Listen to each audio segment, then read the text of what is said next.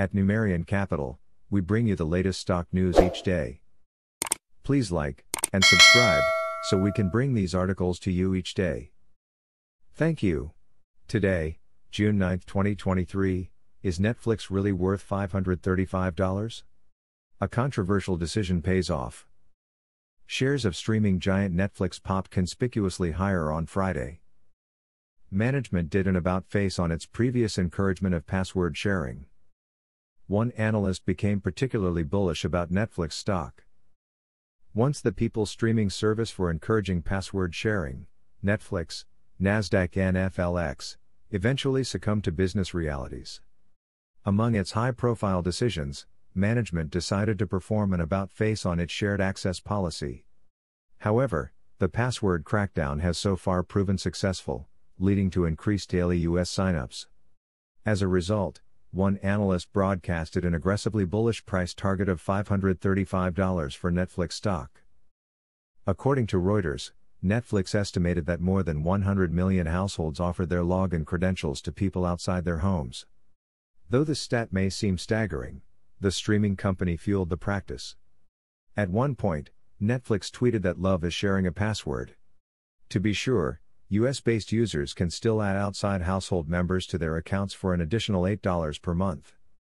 While the abrupt pivot from a consumer friendly stance aroused controversy, days after the May 23 password crackdown policy went into effect, new user signups accelerated.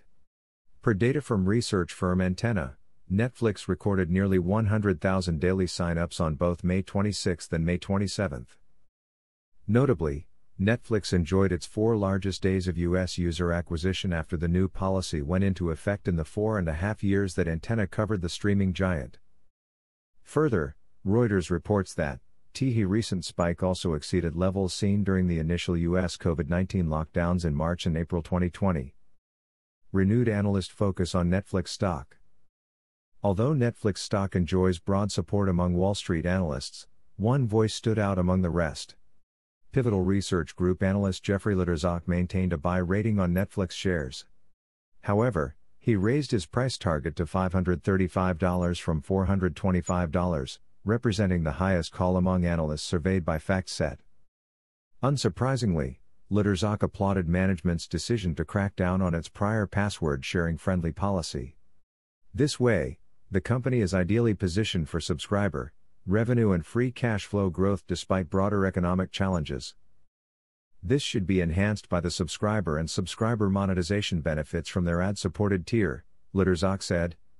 In November, Netflix incorporated an advertisement supported subscription tier. Notably, Wlodarczak also believes that Netflix distinguished itself from the competition thanks to enormous economies of scale. As evidence, the analyst pointed to a surge in free cash flow over 2022 and 2023, expecting more of the same in 2024. Raising eyebrows, should Netflix prove successful this year and the next, Wlodarczak believes management may sell the business. He pointed to Microsoft as the most logical acquirer in our view. Why it matters? Overall, Data from Tip Ranks reveals that Netflix stock carries a moderate buy consensus view among covering analysts over the past three months. Below Wlodarczak's price target sits Wells Fargo's Steven Cahall, who forecasts a $500 call. Still, on average, the expert's price target lands at $380.68, which now implies almost 10% downside risk. Thanks for watching. Numerian Capital News Please come back tomorrow for another stock news update. Thank you.